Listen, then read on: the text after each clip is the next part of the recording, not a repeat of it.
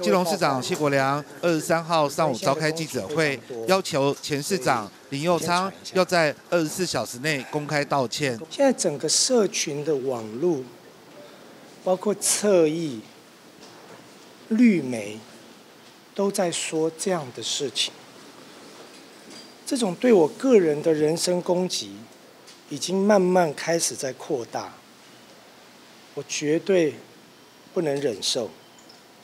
这几天，我的家人太太忧虑到睡不着觉，因为针对我被说有吸毒，感到非常的难过。我们也很忧虑，假如别人继续像林佑昌这样子不实指控，并且贴标签，那我们要怎么面对我们的孩子？所以我在这边。要向林佑昌提出严正的抗议。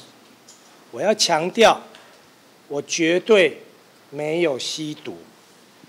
我现在要求林佑昌，请你公开的说清楚，我到底有没有吸毒？若你认为我有吸毒，请你直接讲清楚，不要抹黑。若你明知我没有吸毒，你还这么做，我要求你，请你亲自的跟我道歉。林佑昌，我给你二十四小时的时间，我必须要为我的个人、为我的家庭，更为了整个基隆市政府站出来澄清。基隆市长。绝对不是一个拉 K 吸毒犯，请民进党侧翼不要再指控基隆市长谢国良是一个吸毒犯。所以，我再一次的强调，我给林佑昌二十四小时的时间来回答这个问题，并亲自向我道歉。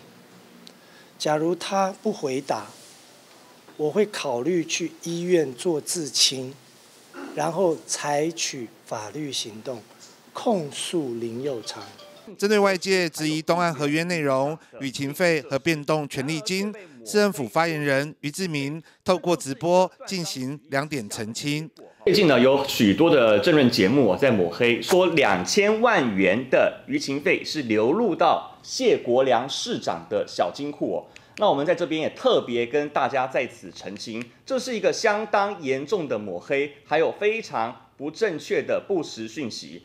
首先，我们先澄清的是第一点哦，它不是每年两千万，它是一年一百万，然后呢，二十年才是两千万，而且呢，这个这笔费用呢，它是进入到基隆市政府，而绝非是私人的金融账号，在此严重的辟谣哈。第二点。就是外界所谣传的这个舆情费，早在媒体揭露之前，我们甚至不知道有舆情费这一项科目哈。在这份契约合约当中哦，我们可以知道两千万元的正式名称是什么呢？我跟大家说明哦，是提升服务品质经费。我这里刚好有一份契约给大家看一下，这笔费用呢，过去呢是用于硬体设施，还有议员里长的建议设施。然而却被抹黑，说是舆情费，这就是一个断章取义之下的结果哈。这内容当中出现了什么呢？我跟大家看一下，这就是当年林佑昌市长任内所签订的合约，就是东岸商场的合约，期间是一百零五年到一百零九年的哈。我们特别把它框了起来，为因应委托营运期之舆情反映科技发展、政府政策及其他提升服务品质措施，好。这是林耀昌市长的合约哈，这个是我们日内的合约哈。为因契约期间之舆情反映科技发展、政府政策及其他提升服务品质措施，这文字内容长得是一模一样，完全都没有改变哦。所以这个舆情费很显然就是被有心人士刻意的断章取义之下的一个结果哦。好，所以说。